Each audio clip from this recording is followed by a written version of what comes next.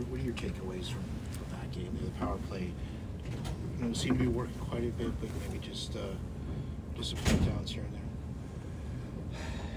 Yeah, you know, uh, obviously power play was way better than it's been. But, uh, you know, it's uh, unfortunate that we can't win you, uh, you find you're getting challenged, you know, physically out there quite a bit, and it, it, important for you to sort of push back in, in some guess.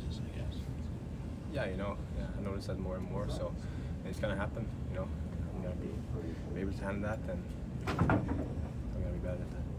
You seem to enjoy when you get in those scrums. There's been times where you've been seen smiling. up. Do you enjoy? Does that kind of get you in game, engaged in the game more?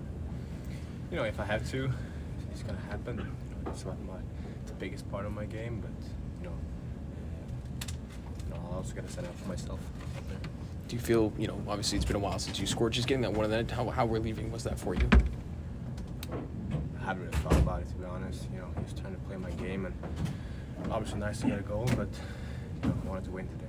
What kind of happened with the you and Project you first on the board, on, on the sideboard, right? Excuse me. And you felt he project you first for you to sort of turn around? Yeah, I did, and you know, want to get a little bit. It's just a good battle out there.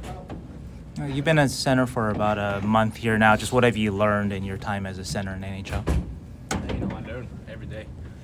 You know, playing against your top guys every day. I, I learn to face off better and better, and you know, positional wise and stuff like that. So, you know, it's gonna keep getting better. Obviously, you love playing against the boards, especially behind the net. How was it? You know, it's a big defense corps that they've got. How was it going up against them? Looked like, you know, you had some moments where it was good, some moments where they were able to knock you off the puck.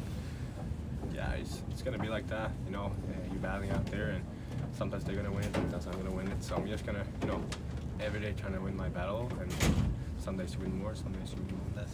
Do you think tonight was a good uh, response game, at least compared to the last game in New Jersey?